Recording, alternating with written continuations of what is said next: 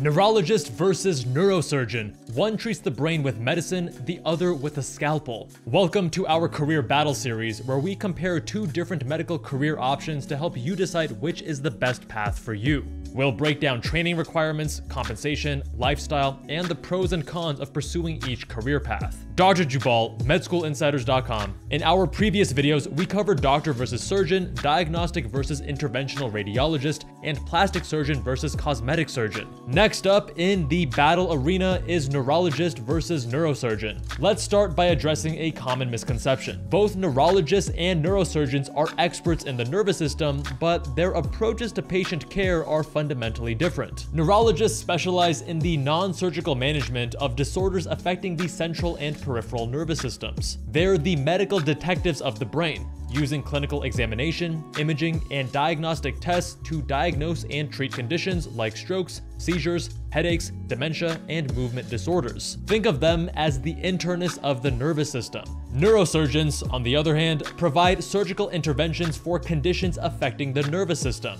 While they know a great deal about the medical management of neurological conditions, their primary focus is on operating. They handle everything from brain tumors and aneurysms to spinal fusions and trauma cases that require immediate surgical intervention. The key distinction lies in the treatment approach. Neurologists primarily use medications, lifestyle modifications, and non-invasive procedures, whereas neurosurgeons employ surgical techniques to directly address problems within the nervous system. Both specialties deal with the most fascinating organ system in the human body, but they approach patient care from opposite ends of the treatment spectrum. But while their approaches differ, they often work closely together. Neurologists frequently refer patients to neurosurgeons when surgical intervention becomes necessary, and neurosurgeons rely on neurologists for post-operative medical management. The training pathways for these specialties differ dramatically in both length and competitiveness. Neurology residency lasts four years after medical school.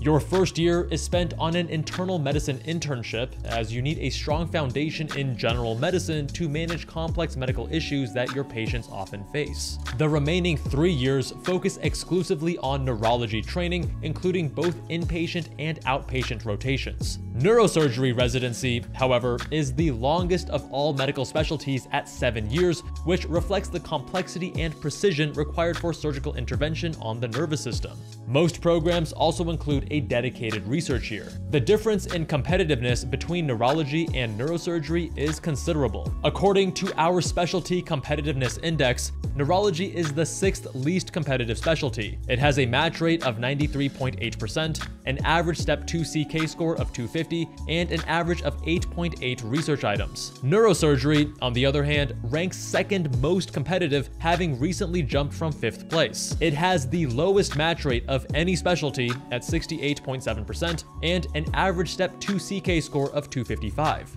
It also demands the most research experience with an average of 37.4 publications, abstracts, and presentations per applicant. Want to know where the rest of the specialties rank? Access our free Specialty Competitiveness Index, which breaks down key metrics for 22 medical specialties. Link in the description. Both specialties offer extensive fellowship opportunities for subspecialization. Neurologists can pursue fellowships in stroke, epilepsy, movement disorders, neurocritical care, and many others. Neurosurgeons can subspecialize in areas such as skull-base surgery, spine surgery, pediatric neurosurgery, or functional neurosurgery. There's a significant compensation difference between these specialties that reflects the training length, lifestyle demands, and market forces. Neurologists earn an average of approximately $348,000 a year, placing them in the middle range of physician specialties. This compensation reflects the chronic nature of neurological conditions and the limited number of procedures neurologists perform. Neurosurgeons, however, command the highest average salary in medicine at over $760,000. They consistently rank as the highest paid physicians, though, as the saying goes, they make the most money but don't have any time to enjoy it. Neurosurgeons have extremely demanding schedules. The high compensation reflects the extensive training required, the high stakes nature of their work, the demanding lifestyle with trauma call responsibilities, and the exceptional level of skill needed to operate on the most complex organ system in the human body. The compensation difference also relates to the different practice models. Neurologists primarily make money through office visits and occasional office or bedside procedures such as EMGs or lumbar punctures. Neurosurgeons make money through complex surgical procedures that command higher reimbursement rates. The lifestyle differences between these specialties are substantial.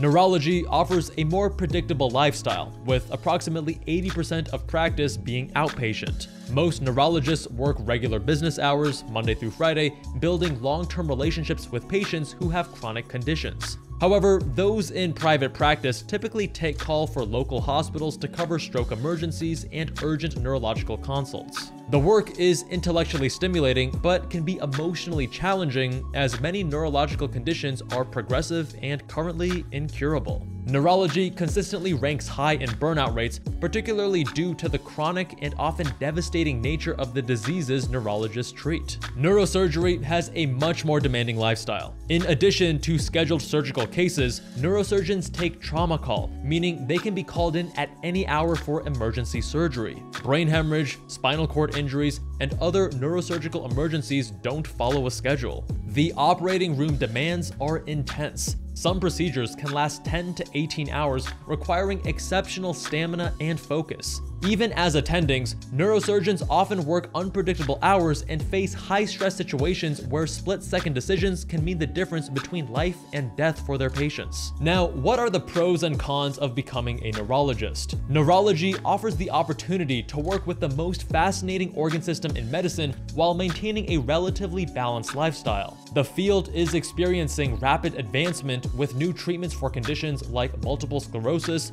epilepsy, and stroke emerging regularly. Neurological diseases consistently receive substantial NIH funding. The specialty allows for deep, longitudinal relationships with patients.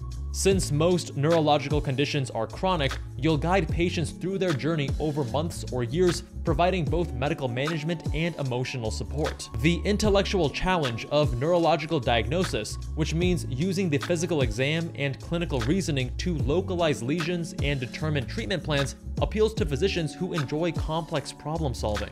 However, neurology also has some big cons. Despite increased research funding, many neurological conditions still have limited treatment options, which can be emotionally draining for physicians who want to cure their patients. Conditions like ALS, advanced dementia, and certain brain tumors have particularly poor prognoses, requiring neurologists to be comfortable with palliative care and end-of-life discussions. The compensation is lower than in many other specialties. Additionally, the emotional toll of treating progressive, debilitating diseases contributes to higher burnout rates compared to other medical specialties. What are the pros and cons of neurosurgery? The specialty provides the ultimate combination of intellectual challenge and technical skill. You're literally operating on the most complex organ in the human body, often in life or death situations where your intervention can dramatically change a patient's outcome. The field is highly innovative, particularly in areas like functional neurosurgery, where the line between biology and technology continues to blur. Neurosurgeons work with cutting-edge technology and techniques from minimally invasive spine procedures to deep brain stimulation for movement disorders. The academic nature of the field means you'll be surrounded by brilliant colleagues and have opportunities to advance medical knowledge through research. The financial compensation is also the best in the business. That said, it's largely due to the fact that the training is the longest and the lifestyle among the most demanding in medicine. Which brings us to the cons.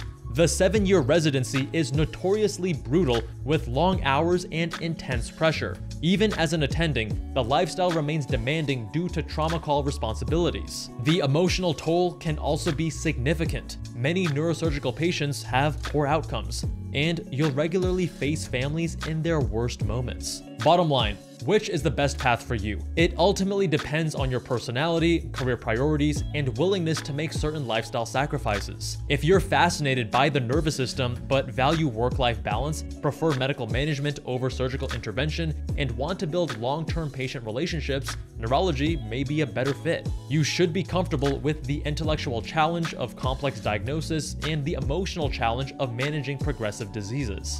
If you're driven by the desire to directly intervene in life threatening situations, have exceptional manual dexterity, and are willing to sacrifice lifestyle for the opportunity to perform complex surgery on the most critical organ system, neurosurgery could be your calling.